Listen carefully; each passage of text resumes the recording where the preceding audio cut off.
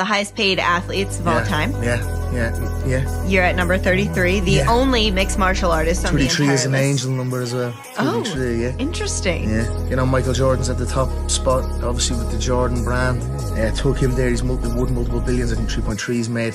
I'm closing in on a billion now. I think I'm at about 650 million all in. I've made. They estimate that. I, I would have to probably do my own little check that. But uh,